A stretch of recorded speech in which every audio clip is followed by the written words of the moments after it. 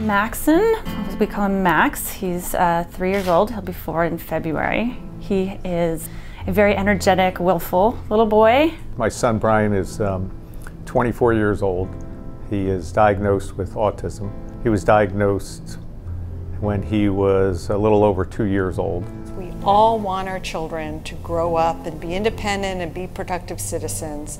And when you're told that you have a diagnosis of autism, that whole scenario is threatened. You know, it's quite frankly terrible news. When you learn your child's autistic, eh, you're just thrown for a loss. We went into our meeting with Dr. McDougle in the Lurie Center expecting what was going to be the worst day of our lives to date. We spent two and a half hours with Dr. McDougle, my husband and I, and Max was there too, and we walked out with giant smiles on our face. I mean, feeling hope and feeling like we had found our partner. Dr. McDougle talked about the potential that there could be, um, which is not something you hear a lot in mainstream world when you're talking about autism. The Lurie Center is a model autism center.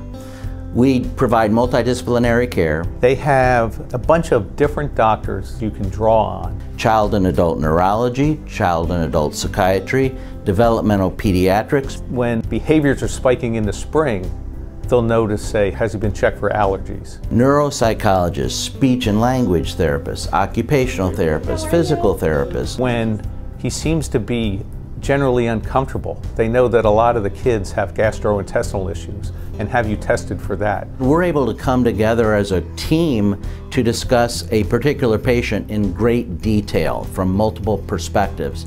In most settings in America, all of those providers are located in different facilities miles apart. We were introduced to Suzanne Bloomer and the Family Resources team at the Lurie Center. She was accessible to me all the time, via email, via phone, answered any question I'd asked thoroughly and quickly. They know the child because they've been dealing in our case for, with him for over 20 years. We don't feel like we're stuck with just that one meeting a year that we just have to jam everything into and oh gosh, what if we miss something? Your child feels comfortable. They already know any kind of idiosyncrasies or anything or different ways they have to interact with them. I don't know how they all remember all this with the thousands of people they see, but that's one reason that these visits to the Lurie Center are so productive. We integrate clinical research with clinical care.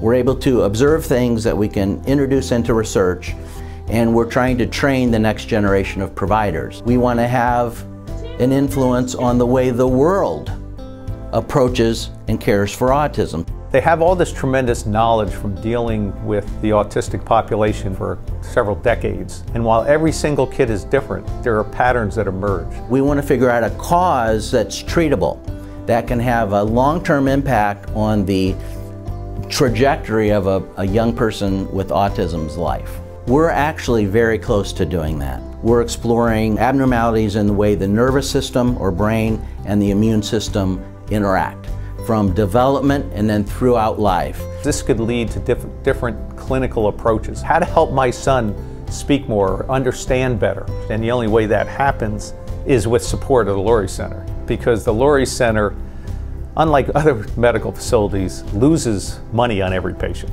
Every time one of our providers sees a patient in this building, we send in the bill and we lose on average $135. The only revenue stream we have where there's any element of flexible money or money that allows you to do novel research which is going to lead to breakthroughs, is through philanthropy. Max loves the Lurie Center. Yeah. Where are we?